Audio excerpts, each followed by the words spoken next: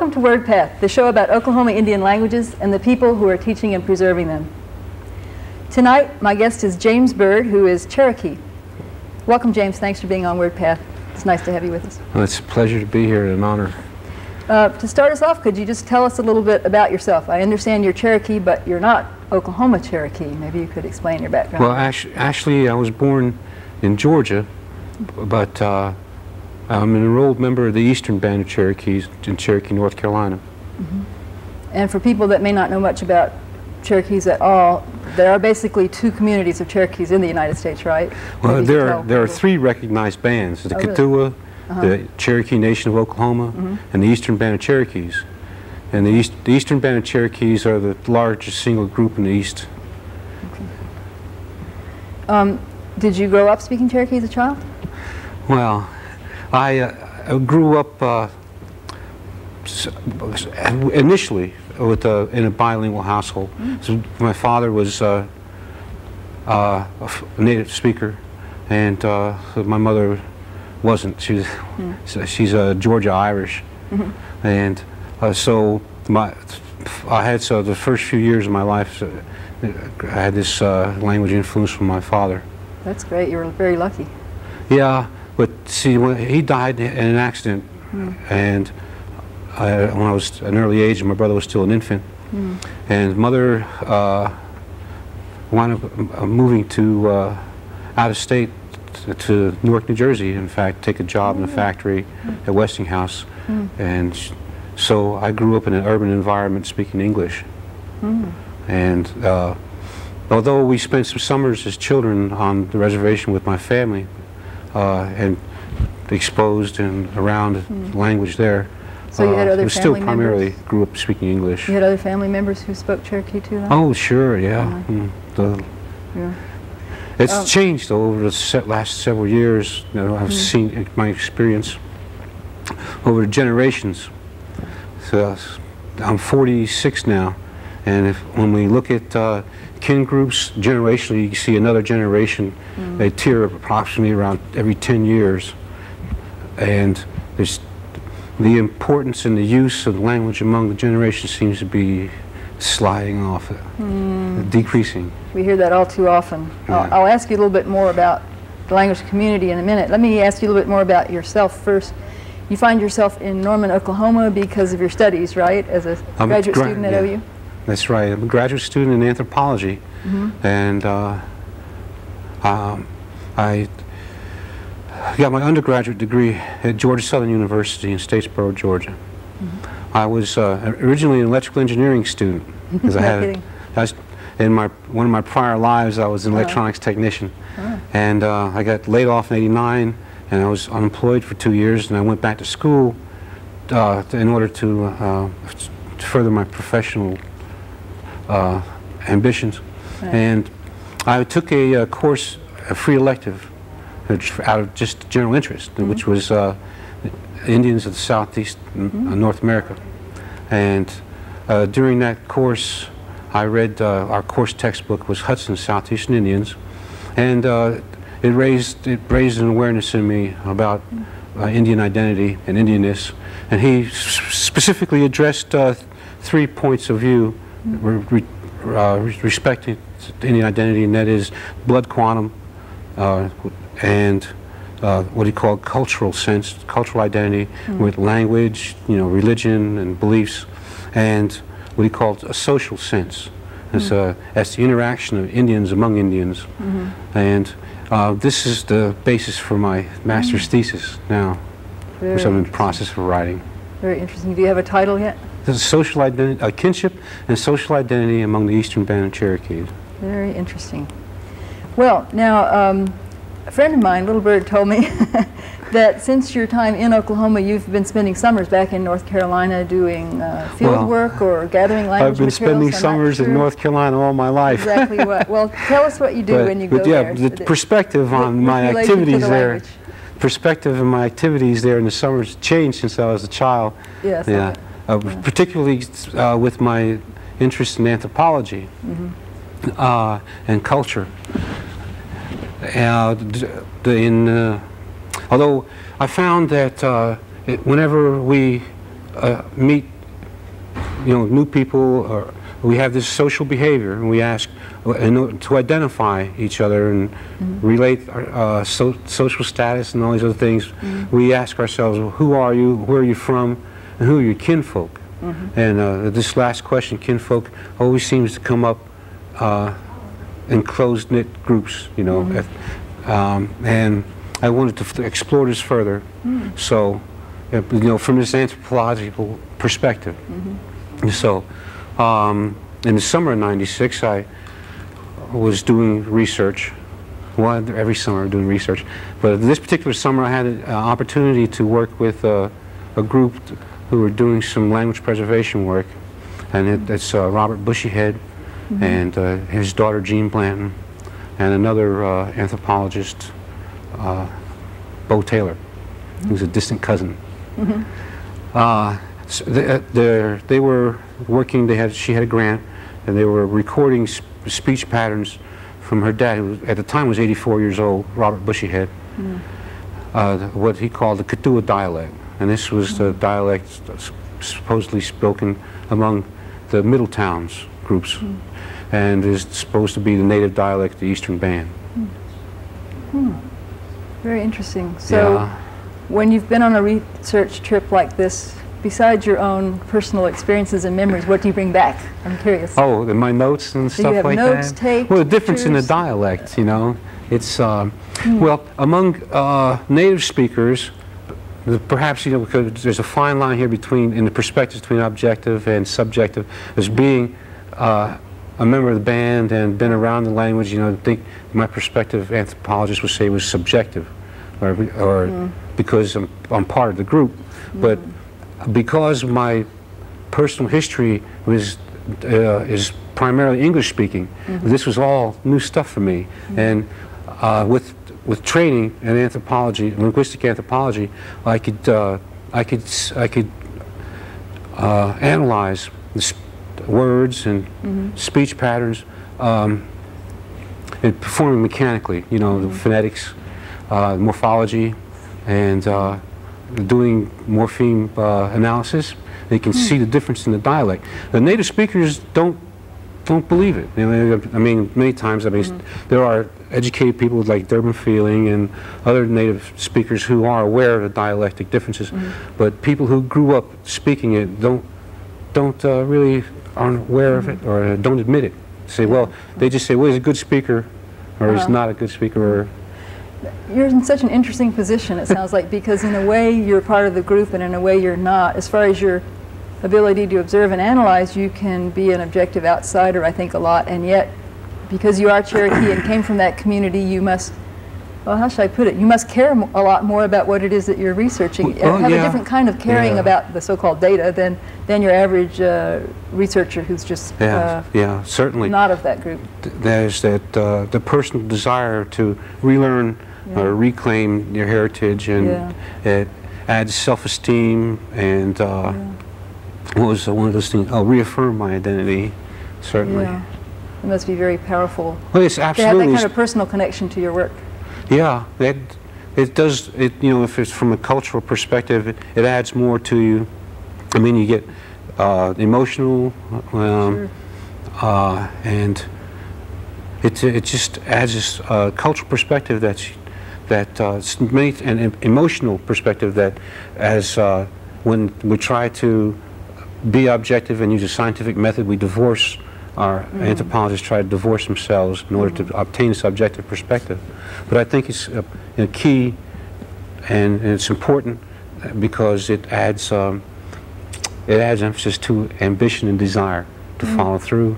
And when, when you get, when, many times in our research, uh, I get tired or bored or fatigued, you know, and Sure. it's, uh, it's that, it's that little something extra that drives, keeps driving me. I'll bet, yeah. The scientific side of it says uh, you don't want to care too much because you have to remain objective and you Uh. don't want to be biased. On the other hand, there's a difference between being biased and just being passionate about your work. Well, the passion is what is drives. extremely important. I mean, Yeah. we should all be so lucky, you know. I feel like uh, the work that I do is exactly what I love and care Hmm. about the most, but I think for an awful lot of people it's not the case, so it's really a good position to be in.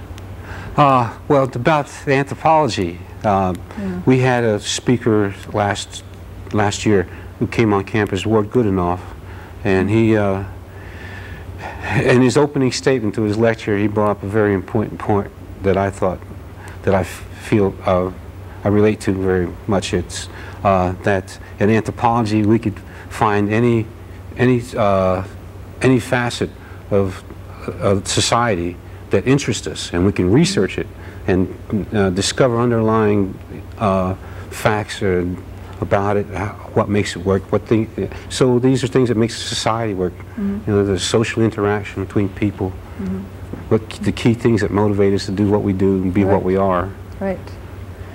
Um, let me ask you a little bit, since you kind of uh, know something about the North Carolina community and the Oklahoma communities, and uh, you've studied the Cherokee language at OU also, haven't you? Yes.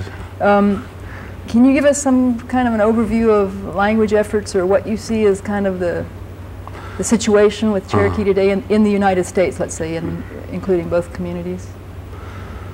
Uh, well, there are efforts in both uh, here in Oklahoma and in Cherokee, North Carolina, to preserve and create, uh, I guess you could uh, say, libraries, dictionaries of the language. Excuse me, I had to rub my nose. It's okay, that's allowed on the show. Uh, So you're talking about it's like, of uh, um, documentation of the language? Yeah, uh, it's important because we realize uh, the, the, the value that it adds to our claim to Indian heritage and our Indian identity. And it's important because the, the number of native speakers seems to be decreasing.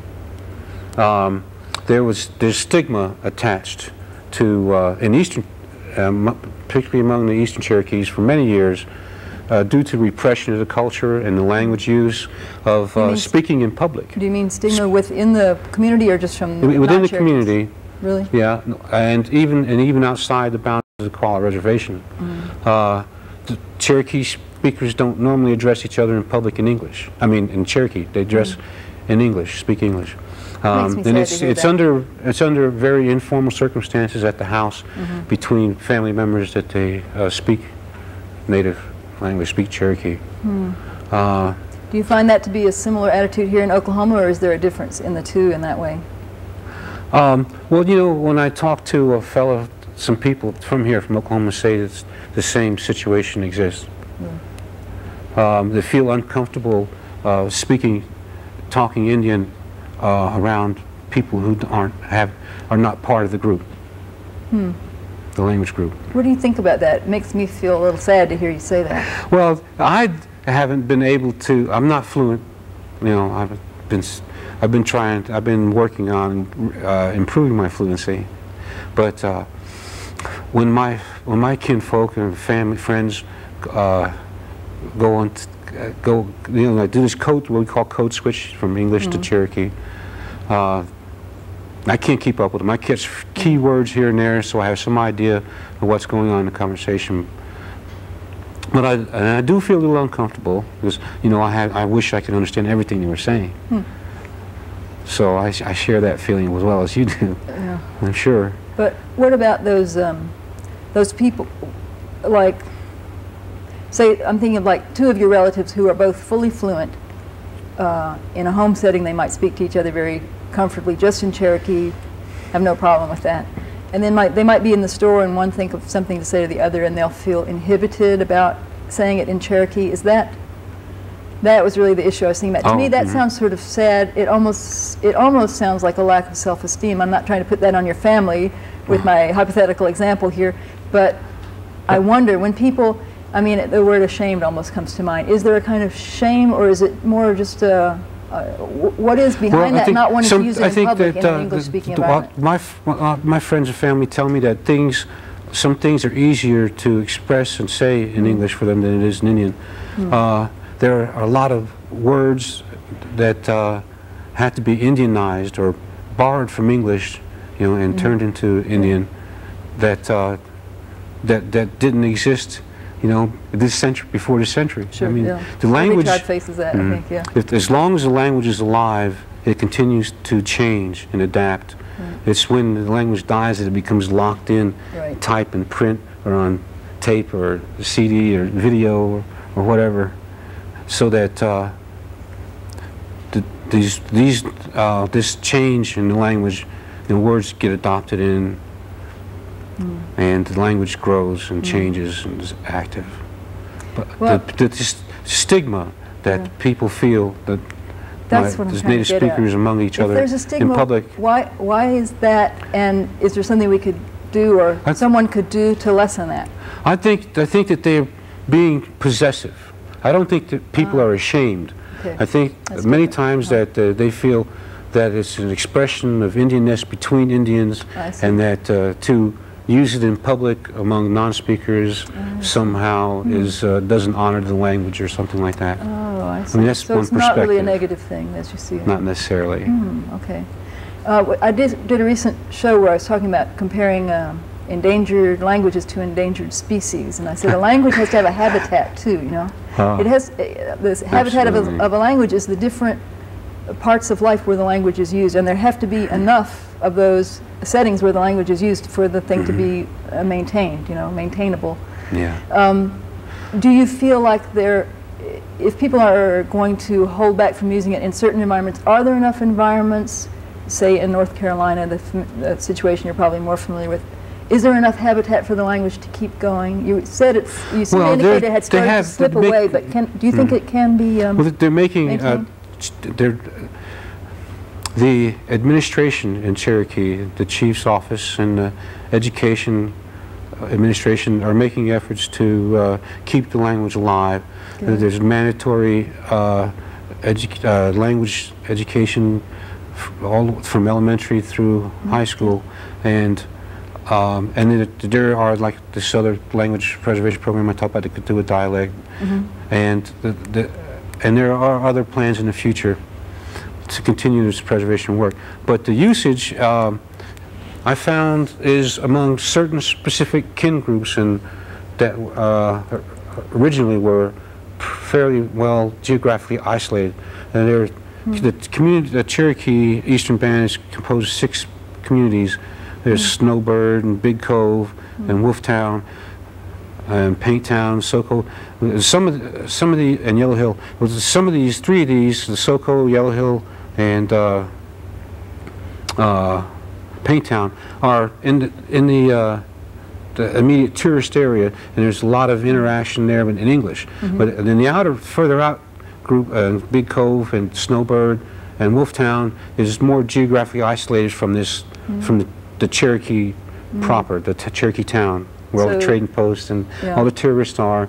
So um, the kin groups that live out there i- interact in in the native language. Um, To find that the children, though, when they come home, are speaking a lot of English because a lot of watching a lot of TV and a lot, and that's all in English. Yeah. And I, uh, a friend of mine made a suggestion that the tribe, I don't know how much they follow through on this, that they should uh, be putting all the all the signs in public. Mm-hmm. In public places should be in syllabary, Cherokee, so that we I can like read. ideas like that myself. Yeah, and they should be broadcasting All by themselves, they don't make someone fluent, but they help to maintain that sense that this is a Cherokee-speaking place. Absolutely. You know, I like that. Yeah, and they should have uh, should have native language uh, on the uh, on the, the tribal television channel on the cable TV Sure, there. that would be great. Yeah. That would be great.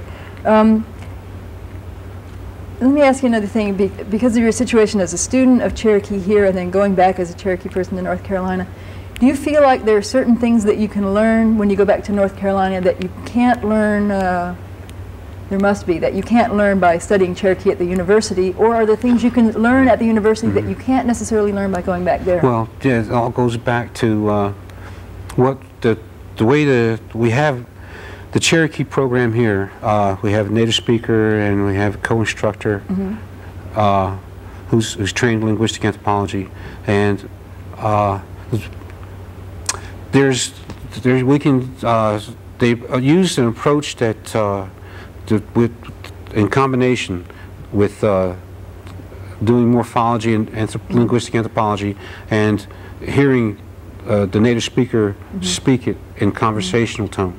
So you, you hear the difference here. The written Cherokee and spoken Cherokee are different, just as English is different. When we write things down, we do it in a very formal manner. Right. But when we speak, we use contractions Right. and we use uh, colloquialisms. And it, the same thing is true in Cherokee. Mm-hmm. Truncate final vowels and uh, kind of run words together. Sure, So yeah. this, the same uh, processes in speaking occur Yeah. in, in all languages like that way. Yeah. How much is um, reading and writing used back in Cherokee, North Carolina? Or is it more of an oral Well, we have- the language? The Cherokee One Feathers are, uh, are besides being the, the tribe's legal vehicle, uh, also you know as a billboard for the community Mm-hmm. and uh, in, uh, notices from the, what's going on among the tribe, the chief, the council. Mm-hmm. Uh, has uh, does things with language, a little syllabary. Good.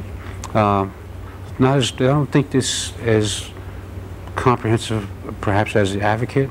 Are you familiar with that? Uh, I've heard of it, but I'm not familiar enough with Okay, the that's- whole that's, Cherokee uh, scene to really appreciate it, probably. Yeah, well, Uh, give is a plug, huh? The Advocate is somewhat, uh, it's a bilingual publication, isn't it? Not in Cherokee. It's primarily English. Okay. North Carolina. Okay.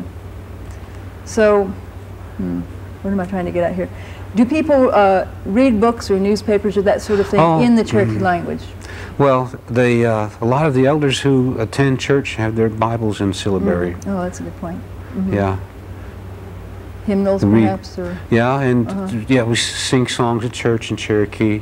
yeah, And, you know, yeah. uh, read scripture, and uh, have Cherokee uh, used in ceremonies, weddings, and uh, Mhm. funerals. Sure. Yeah. So Now, there's a public setting for that. We, we only have a few minutes left, and I would be remiss, I think, if I didn't ask you this question, because we might have a lot of people listening who are Uh-huh. students of Cherokee here in Oklahoma. Can you maybe cite a few differences between, I gather there is a sort Oh, of dialect hmm. difference between the eastern dialect and, uh, and Oklahoma Well, Cherokee. Are there mhm. some specific words that are different, or what are the main differences between Well, if we look in the, the, the, our uh, syllabary chart, you'll see uh, three, three variants there in each, uh, each Mhm. form of the syllabary for, as well, not all of the, not all of them, but most, many of them. Uh, Z, G, and Chi, Mhm. Zo, Jo, Cho, uh, G, Mhm. uh, Ja, Za, Cha. So although they sound very slight in difference when, when written, they use the same character in syllabary, but they sound different. And Mhm. f- for uh, s- for a student uh, to recognize it in conversation is the key because it, it Right. runs fast, so fast. Right. It's hard. A little really change hard. can really yeah. throw you sometimes. And uh, Yeah. well, I tried using my my reacquired skills in Uh-huh. Cherokee, North And Carolina. how does that work? And I was, well, I was told you sound a lot like a white man who's speaking Indian. But maybe, I wonder if some of it is Relate. that they're hearing you speak a it's different dialect. valid. It's valid. Some oh, the dialect is different. Yeah. Well, in Cherokee, North Carolina, we don't say wado, we say ski. Oh, there's a completely different word for Yeah, thank you. Hmm. for thank you. Now, now, I'm t- uh, I, I believe that uh, well, Durbin said that ski just means, uh, isn't it so? Hmm. That's that's it. But it functions as a thank you. That's it. It functions the same. So Mhm. it means thank you. I've, but I f- find the Wado is used among uh, Mus- Muskogee speakers here as well. Oh, I really? I think Seminoles and Creeks Mm. use it. Uh, another one is do used. We say do used instead of gado used, which means what is it? Mm. We say do used. And we- But we, can- use the za instead of ja in the dialect. So it sounds like mostly some certain consonants are a little different. A few words are completely different. Hmm. But by If and had large, the- can If I had a chart, I could show you. well, but by and large, if a fluent speaker from Oklahoma was speaking to a fluent speaker from North Carolina, would they understand most of what each Ah, I made was this. I ran this experiment. You did? And what yeah, happened? I had, well, I called up a friend of mine here, the, our native speaker, Bobby Blossom, Mm-hmm. and I put him on the phone with my aunt Lucinda, and uh, you could see that she was making adjustments in her face, you know, thinking and concentrating. And after a few minutes, the, the, she said, "Well, he's a good speaker," and they, you know, but I, uh-huh. but I, I, re, I, c- I can recognize the dialect difference between the two, Oh, personally myself. Very interesting. Very interesting. Well, you're about to graduate here from with your MA, right? Uh, I'm just curious, uh, with all this uh, passion for this kind of work and all of your training and in, in language and culture and uh, the kinship section, part of your work, which we didn't really have time to get into. Um, what kind of work are you looking for when you get out of school? Well, I'm, I'm hoping that uh, they'll have some, I can get, go to work for the tribe. Um, I hope that uh, we'll be, I'll be doing something with language preservation. That would be excellent. that would be ideal. Uh, another, th another thing is that I've been trying to press for the, the tribe project is tribal historic preservation. Good. Whereby the tribe would assume the state historic preservation office duties and uh, the, all the work that's associated culturally with that office. Mm, excellent. Now, I ran into you at OU at the Stomp Dance uh, recently, and I met your wife, Pamela, right? Yes. And you have a baby. Let me uh, close by asking you, uh, what languages is that baby going to speak? oh, well. but, you know, we have this uh, profuse amount of English in our culture, and but every we have this toy, this little talking thing. You push the button, it gives mm -hmm. a word. Bird, you know, cheep, cheep, cheep. And I, I'd repeat the uh, Cherokee for the words for her. So Good. I try to raise her bilingual. And we moved Good. back to Cherokee after I graduate.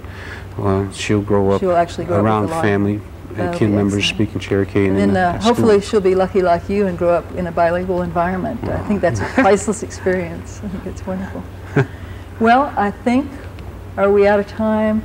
We've got to wrap it up. I'm sorry. Okay. It's been just delightful talking to, to you. Talk I'm, about. I'm, sorry it went by so quickly, but thank you very much for joining okay, us. Okay, he's glad I could be here. You. And uh, join us next time on WordPath. na hene yo hene na hene yo hene ana magwana kita wa pene madaone kita na hene yo hene na hene yo hene ana magwana kita wa pene madaone kita. Na hene yo hene na hene yo hene ana magwana kita wa pene madaone kita. Na hene yo hene na hene yo hene ana magwana kita wa pene madaone kita